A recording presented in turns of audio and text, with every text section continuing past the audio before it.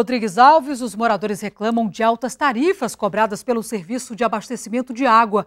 A nossa equipe de jornalismo foi até a localidade para conferir de perto essa situação. José Correia estava acostumado a pagar menos de 12 reais na conta de água. Mas, este mês, o marceneiro assustou-se ao receber o cálculo de 116 reais, cobrados pelo serviço de abastecimento. O meu primeiro talão ele veio R$ 11,70. O segundo veio 23 reais. O terceiro, R$ 106. E o quarto, R$ 116. O senhor tem como explicar essa situação?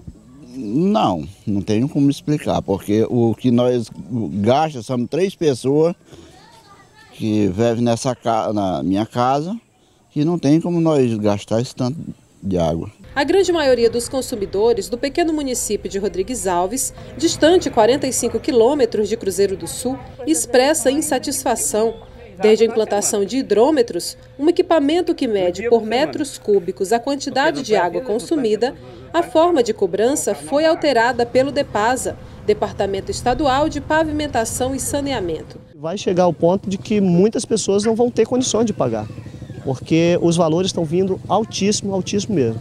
Eu queria que tivesse uma explicação, mas infelizmente não tem aqui para quem dê uma explicação para a gente, já que não tem um escritório aqui do DEPAS ou do DES aqui para que a gente possa vir fazer uma reclamação. Pagando um alto preço, os consumidores ainda têm que conviver com outro grave problema, a qualidade da água que chega às residências. Essa é a, a marca do cano da água que foi aparado hoje, que a gente tem que coar para beber.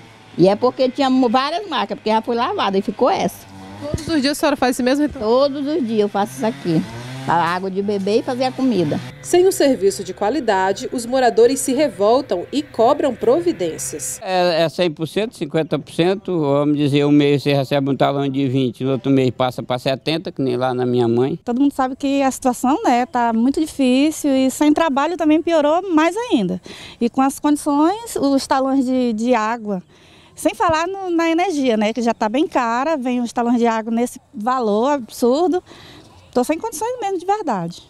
Sem qualquer tipo de segurança, aqui nesta área funciona o reservatório de abastecimento da água do município. Os moradores estão muito preocupados com essa situação. De acordo com eles, a péssima qualidade da água, aliada às altas tarifas que estão sendo cobradas nos últimos meses, não é mais inconcebível. De modo que, caso a situação não se resolva, o jeito será pedir o desligamento e recorrer a uma antiga prática: descer as barrancas do rio e buscar água no Juruá. Pra mim não ia adiantar nada ficar com o fui e rasguei. Aí o próximo, se vinha a mesma coisa, é rasgar e pegar o revólver, entregar pra ele.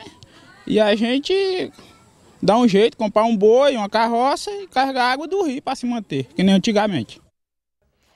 E o gerente do Depaz em Rodrigues Alves, Marcos André Bezerra, não foi encontrado na cidade.